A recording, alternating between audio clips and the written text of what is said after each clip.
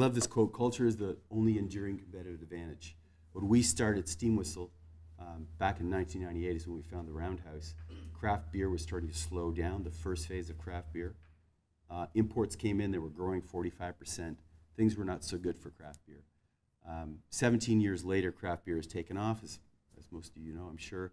Import beers are not selling as well. But things are changing again in the US. Craft beer is starting to slow down. So things come in waves. And the only thing that's going to keep you on top are these people here.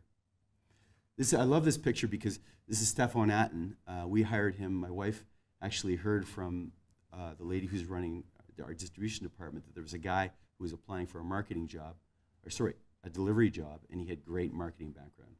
So she talked to Stefan, and he'd worked for, came through the Procter & Gamble system in Europe, worked for Lion Brewing in Sri Lanka, one of the largest uh, breweries in Asia, and uh, couldn't find a job in Canada. He, he had incredible resume, similar to Mark, our brewmaster. We hired him, and he did great things for our brand over five years. Eventually, he got hired away by, by Moosehead. And the reason I want to show you this picture is this is his last day. So we had him stay for two weeks, and we found out from his wife that he used to wear this, loved singing Elvis at karaoke nights, and we got a hold of this costume, and then we got his passport, and we had a party which he didn't know about, where we took him and a bunch of the staff on a bus down to Ellicottville, New York, for the weekend, just to celebrate all the great things that uh, he did for us. Again, what is important is even when someone's leaving the business, we want them to feel positively about us because they are going to tell that story continually. Branding is uh, branding and word of mouth. Branding is not what you say about your product, but what the consumer says about you based on your, their cumulative experience with your brand at every touch point at every touch point, usually normally is an employee, and they can make the difference for you. Uh, this is Shannon. She, this is a picture of her when she started working in the retail store. Um, she did a great job of that, so we promoted her into uh, the distribution department where she'd be calling uh, liquor stores and beer stores for orders. Uh, she met uh, and started dating one of the guys that she was working with in the store, Gord. Uh, she eventually got promoted into LCBO sales, so she's on the road now selling beer to the LCBO stores and beer stores in Ontario. Gord got promoted through the distribution department and is now running it. The important point is they got married and had the first steam whistle baby. and they just had their second. So we love this idea of family. A lot of larger companies don't, but I think in a smaller organization, it makes sense. Uh, spread the love around, have people dedicated to the business, and have them see it as, um, you know, not just an eight-hour day uh, job, but their life and, and a part of their life that they, they really enjoy.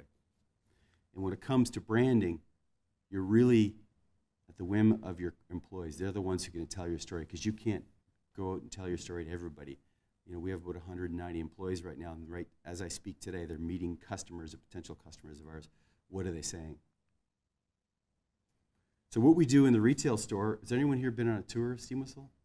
Hands up. So in the retail store, um, we're very busy down there because over the years, if you can imagine, in 1998, it was a no man's land when we first acquired the Roundhouse, the lease in the Roundhouse. Our friends were telling us, "You're crazy. It's a scary place down there because it had been all closed off before Bremner Boulevard was installed." Um, it's very busy these days with the aquarium across the street. The Jay's doing well. Cineplex is moving in next door to us in the Roundhouse with a new concept they have called Rec Room. Um, we've got a lot of visitors. So in order to make sure that we make a good impression, the whole idea of meeting and exceeding people's expectations.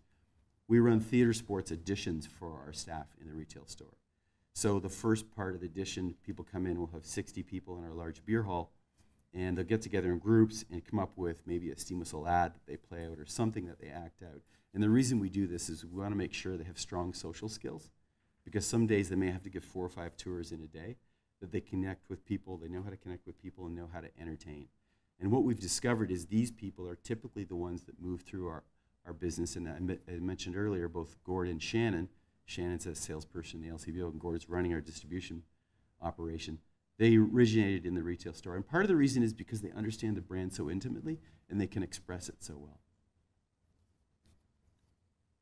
So after the addition process, uh, then we go into more uh, of a traditional interview style where we see if they can count, et cetera, which is also important and I'm proud to say, as a result of, of um, this program, uh, we've done quite well with TripAdvisor. For several years, we were above our friends across the street at the CN Tower.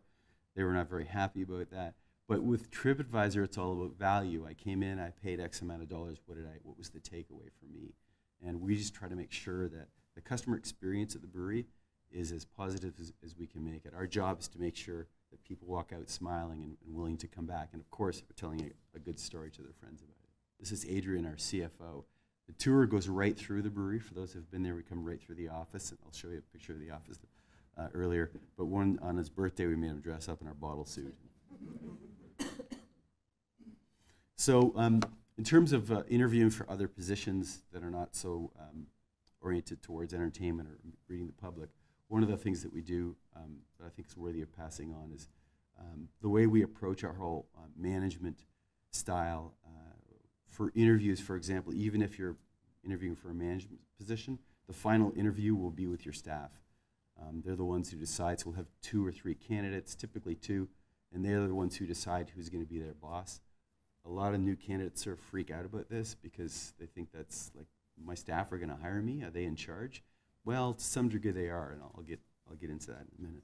Um, when we bring new people into the brewery, no matter what um, position that they're involved in, we uh, do an announcement company wide, and we, we tell a little story with an image, just so that people get an idea, see the face, who's joining them, and, and understand each one of them understand the background.